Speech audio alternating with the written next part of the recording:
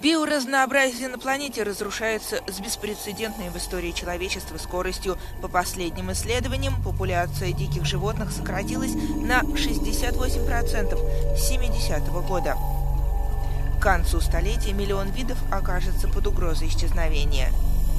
Все океанические экосистемы от мелководья до глубоководья испытывают давление из-за чрезмерного вылова рыбы, загрязнения, развития прибрежных районов и изменения климата.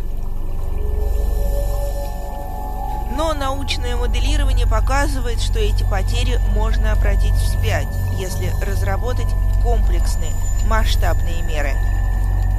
Еврокомиссия призывает к 50 году обеспечить восстановление и защиту мировых экосистем. Одна из инициатив предусматривает выделение 30% европейских морей в качестве охраняемой территории.